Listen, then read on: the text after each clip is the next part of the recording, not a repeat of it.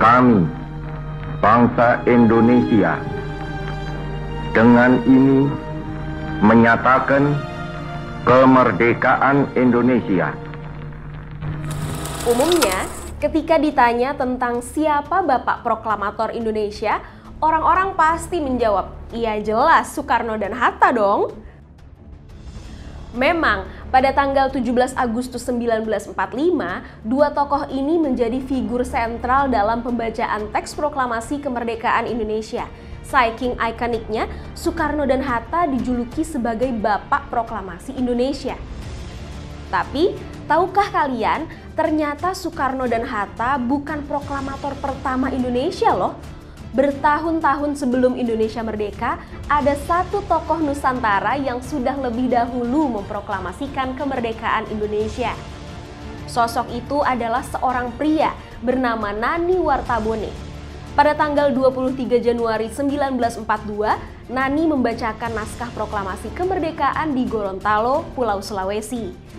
Tapi sayang, peran besar yang dimainkan Nani kini jarang disorot oleh masyarakat Lalu, seperti apa kisahnya? Inilah kisah sang progenitor proklamasi Indonesia.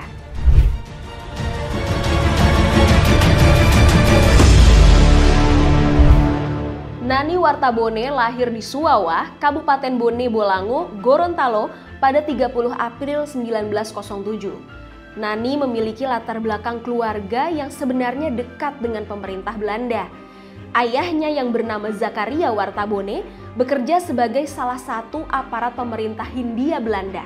Lalu ibunya yang bernama Sairah Moduto juga adalah seorang keturunan penguasa Suwawa.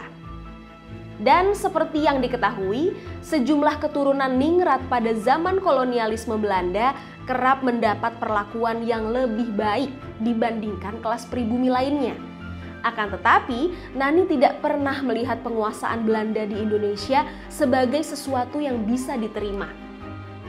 Semangat kemerdekaan Nani tumbuh semenjak duduk di bangku sekolah. Menurut buku biografi pahlawan nasional Nani Wartabone, Nani menyadari perlakuan diskriminatif yang dilakukan oleh para guru kebangsaan Belanda terhadap kaum pribumi, khususnya yang bukan bangsawan sementara anak priai dan non-pribumi dapat perlakuan lebih baik. Sentimen ini menguat ketika Nani pindah ke Surabaya setelah lulus kelas 6 SD. Nani bersekolah di sejumlah sekolah top di Surabaya, seperti Mulo dan ELS. Walaupun demikian, pandangan dan pemikiran Nani soal perjuangan melawan penjajah bukanlah berasal dari sekolah Pandangan revolusioner ini muncul dari sejumlah aktivitas di luar sekolah. Masih menurut buku biografi tadi, Nani sering mengikuti acara diskusi dengan beberapa tokoh terkemuka seperti Dr. Sutomo, Agus Salim, Cokro Aminoto, dan tentu saja dengan Bung Karno. Ceramah-ceramah dari Bung Karno menggugah hati Nani bahwa kemerdekaan adalah hal yang niscaya terjadi karena terkagum-kagum, Nani akhirnya memberanikan diri berkenalan dengan Bung Karno. Kedua tokoh ini akhirnya memiliki kedekatan yang spesial. Nani disebut pernah tinggal beberapa hari di kediaman Bung Karno dan berkesempatan membaca sejumlah buku politik miliknya. Nani juga dapat wejangan spesial dari Bung Karno yang berbunyi, "Jangan pernah kerjasama dengan Belanda."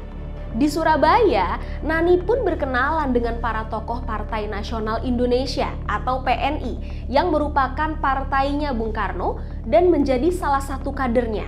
Ketika kembali ke Gorontalo di tahun 1928, Nani menjadi ketua PNI cabang Gorontalo dan menyebarkan ide nasionalisme pada warga di sana. Selang beberapa tahun, Nani berniat menguatkan semangat perjuangan rakyat Gorontalo dengan bergabung ke salah satu organisasi masyarakat Islam terbesar Indonesia, Muhammadiyah. Sejak itu, dukungan para warga Gorontalo pada perjuangan Nani kian menguat. Lantas, bagaimana kemudian Nani berhasil jadi proklamator dan mengusir Belanda dari Gorontalo?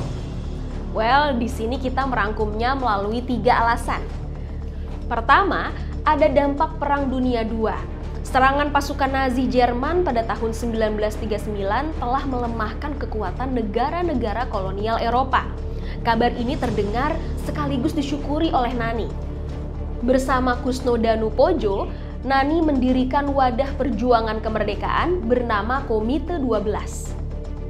Dengan sigap, pada 23 Januari 1942, Nani dan para pejuang yang berhasil dikumpulkan Komite 12 menduduki sejumlah fasilitas pemerintahan Hindia Belanda dan pertama kalinya mengibarkan bendera merah putih di Indonesia.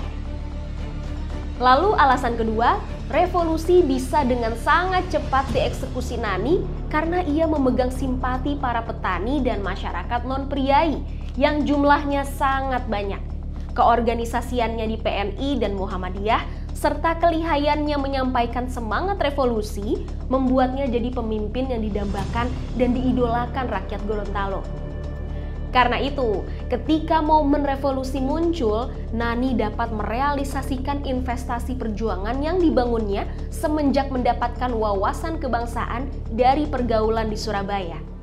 Kemudian alasan ketiganya adalah karena Belanda mengantisipasi serangan Jepang.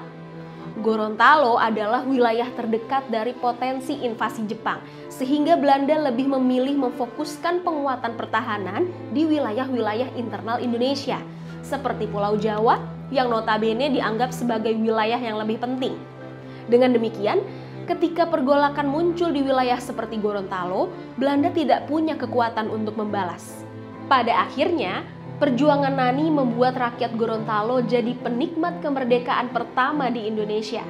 Sayang, kejayaan tersebut hanya berlangsung lima bulan, yakni dari tanggal 23 Januari sampai 5 Juni 1942 ini karena Indonesia tiba-tiba diserang Jepang.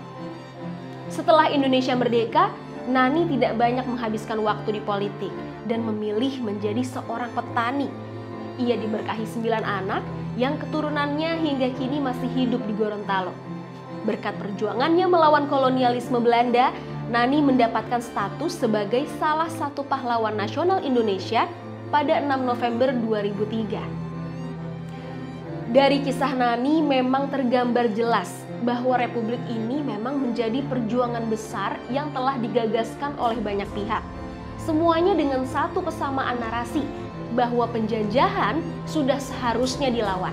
Kisah Nani Wartabone juga seharusnya menjadi poin penting yang membuat generasi muda saat ini lebih mensyukuri dan memanfaatkan kemerdekaan yang telah diraih.